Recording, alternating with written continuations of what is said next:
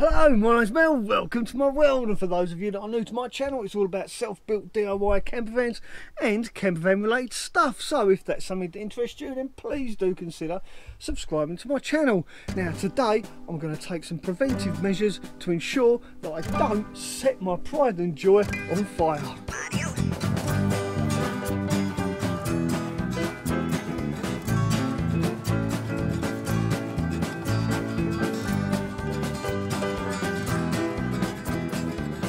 So today I've got a little bit of a problem. I've realised, and actually I didn't realise until some of you guys pointed it out to me.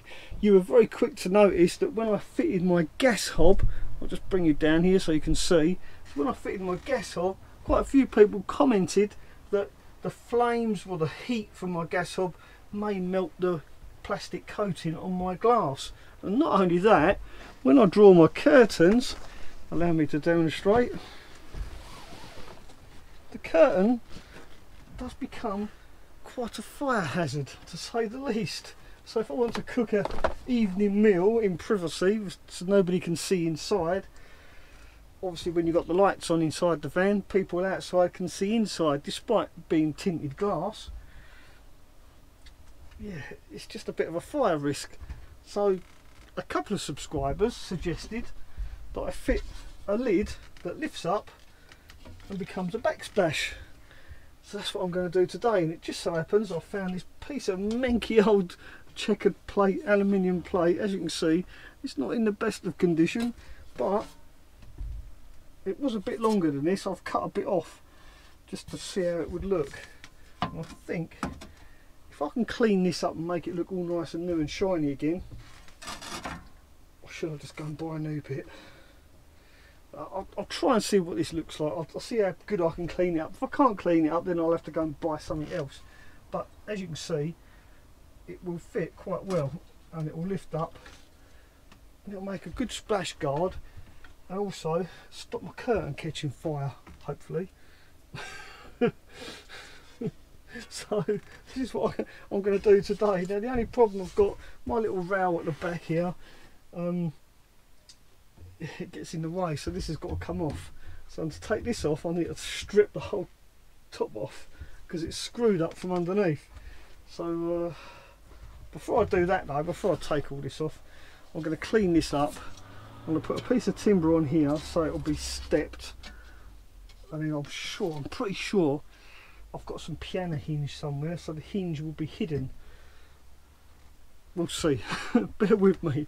It could be a long day Hopefully not the long video though. Now to clean this manky old piece of checkered plate, I'm simply going to use a zip wheel on my angle grinder. And uh, I've done this before because I had two pieces of this checker plate left over from my LDV Maxus. And uh, here's a piece that I cleaned earlier. Well, I cleaned this for my cubic mini wood stove. I stood my wood stove on top of this, but um, decided to take it off in the end didn't use it. So I know it cleans up really well, so that's what I'm going to do now. Get my safety gloves on, get my safety goggles on, change this blade and then clean it all up. I'm not going to film it though because, uh, yeah, I don't want to make that mistake. I don't want to ruin my lens on my camera. So that manky old bit of checkered plate now looks quite nifty. It's cleaned up really well as you can see. I don't know if I need to lacquer it or anything like that. Maybe I'll just leave it as it is. But yeah, this is what it's going to look like. Now I will try and get some kind of edging trim on there. Maybe I'll round these corners off as well. But there you go. That's the only thing though. It will only open up that far because of this back rail. Now I just want to say thank you to everybody that suggested I use this back rail as part of the hinge. But unfortunately it won't work because it's too far back. This piece of aluminium checker plate isn't quite wide enough so yeah it's going to have to go I'm afraid which means I've got to take all this apart to unscrew it. Yeah, unless I get angle grind and cut it. No I don't want to do that. I'm going to have to take it all apart. Right so we're getting there going to sit like that and what I'll do I'll put some soft soft pads underneath here so that it doesn't rattle on top of the, the grid. Yeah, I think that's going to look alright. I'll time I round off the corners, put a bit of edging trim on it. Brilliant, that's going to be fine I think. Right, next stage, take the railing off.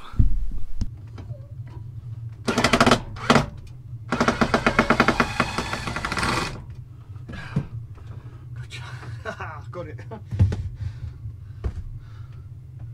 I had to remove all this is because there are three screws underneath on the end of this um, holding it down. So yeah I had to disconnect all that. Luckily I didn't have to disconnect the wires. It's just a matter of unscrewing it all.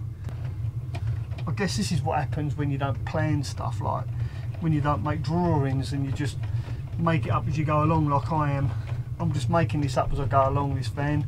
So uh, stuff like this is bound to happen but if you draw stuff out on a computer or even on a piece of paper and plan it accurately before you build it then uh, hopefully you don't come across this sort of scenario. But this is the way I do things. It's the way I like it. Make things up as I go. So I guess that's how I have to put up with Oh, look at this. This is going to work fine. Look at that. That's going to be pucker, that is. Now, all I need to do is get some hinges for it. And I'm sure, I'm pretty sure, I've got a piece of piano hinge left over from my last van build. And I reckon it's about that long as well. I just don't know where I've put it. I think it might be my lockup. So uh, I'm going to have to go down to my lockup and have a look, see if I can find it. If not, it means I'm going to have to go to B&Q or somewhere like that or even order it online I suppose. I don't see why not eh? but yeah. Time I put a bit of trim around that to round these corners off put some trim around it. Piano hinge. Yeah that'd be pucker that. Stainless wood as well. Yeah I'm to stain this wood before the day's out.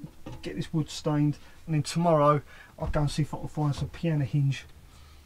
Brilliant. I'm really pleased with that. Absolutely fantastic well I've searched high, I've searched low, I've looked here, I've looked there, I can't find those hinges anywhere. so rather than queue up at B&Q or another DIY store for three or four hours just for a hinge, I decided to buy them online. So I went on eBay, hey presto, hinges perfect for this little lid uh, for three quid. So yeah, what's the point of queuing up? So I've ordered them online, they should be here in a couple of days, but that didn't hinder me from finishing off my top, work top, work lid, fire guard, splash guard, what would you call it? I don't know, piece of crap maybe. Anyway, there you go, it's all been made out of stuff that I would have otherwise thrown away. I'm quite pleased with that, and as you can see, I've rounded off the corners. I think I mentioned that once or twice, I was going to round the corners off and put some trim on it incidentally this trim is left over from when I fitted my side windows so um, yeah well basically I didn't use it. So I'm glad I didn't use it because I've used it on this and I think that looks pretty cool. I'm quite pleased with that and I've stained my piece of wood as well which by the way this piece of wood was left over from when I did my cupboards. So literally this is made out of leftovers. So uh, yeah it always pays to keep stuff rather than throw it away so let's put it in place and I'll show you what it looks like, what it looks like. So there you go, that's what it looks like. Now the nice thing about this I've realised is it's just the right height. As you see I'm standing upright and I can work on here, I can do stuff. If I've got something I want to take apart or tinker with, like a bit of soldering or fixing, I can put it on here. It's not going to roll off because it's checkered plate. Um, yeah, stuff isn't going to roll away and I can put G clamps on it. I could even put a little vice on there if I wanted to. so yeah, I'm really pleased. But the main purpose of this is that when I want to make my coffee in the morning, I can lift it up like that. I can light my flame. I know I'm not going to catch light to my curtain because my curtain comes around the back here. It might get a little bit dark. I'll just show you what it looks like. Oh, minor cup smell. So there you go, it's going to hold the curtain away. I can put my coffee on and it's not going to catch fire to my curtain. And that's the main thing about it. And these little pads by the way you might have spotted those. They line up with these. And that's going to stop it rattling when I drive.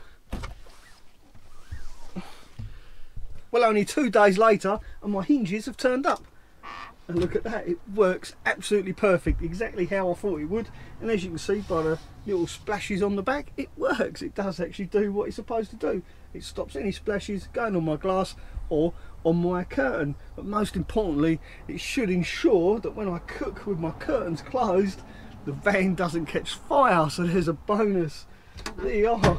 And I'm pleased to say these little pads work perfect. They stop it rattling. It doesn't rattle whatsoever so uh, all in all, quite a success. So there you go, if you found this video mildly entertaining or even informative, then please do give me the thumbs up. Don't forget, if you are new to my channel, please do consider subscribing. And by subscribing to my channel, you help me feed a cat, and I've got two, and they're both hungry. Thanks for watching, ta for now. I've ordered some hinges, hinges. That self-built DIY camper van, then camper van, you know,